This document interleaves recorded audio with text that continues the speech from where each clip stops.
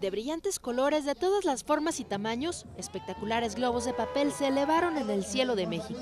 Es el concurso de globos y faroles de papel que se celebró en San Agustín Otenco, al sur oriente de la capital mexicana.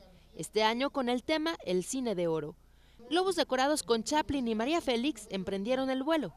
Este año Colombia participó con este monumental ejemplar en honor a Cantinflas que tras varios intentos frustrados por el viento logró remontar el vuelo. No, es algo inexplicable, es más que un amor, como no es algo que uno siente que ganas de llorar, mucha alegría. Miles de personas miraron al cielo para disfrutar del recorrido de los cientos de globos que se perdían en el horizonte, creados por manos de artesanos.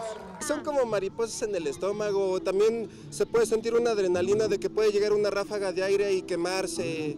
No sé, es este, pues pensar siempre positivamente que todo salga bien. Pero no siempre se tiene éxito. Hechos de delgado papel, alambre, cartón y pegamentos, las delicadas figuras se elevan al cielo con aire caliente.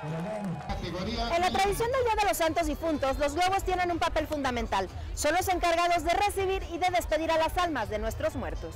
Este ritual se mantiene vivo porque pasa de generación en generación, por lo que Otenco es considerado cuna de estos globos.